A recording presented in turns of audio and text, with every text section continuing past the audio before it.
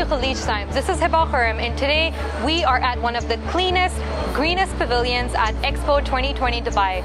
We are at Singapore, so let's take a stroll around the pavilion and see what all they offer.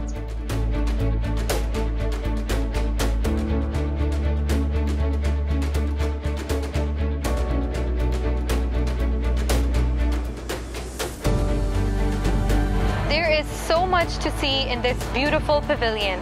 This pavilion has three different types of cones. There's a flower cone, a rainforest cone, and a city cone. And it's surrounded by hanging garden. And on the top is a sky market where you get the perfect view of the expo. Did you know that Vanda Miss Joaquim is the national flower of Singapore? It is a type of orchid that's been hybridized and that is what they do in labs to create unique, different kinds of orchids. Hope you enjoyed this video. Don't forget to like, comment, share, and subscribe. Signing off, this is Hiba Khurram with Shahab.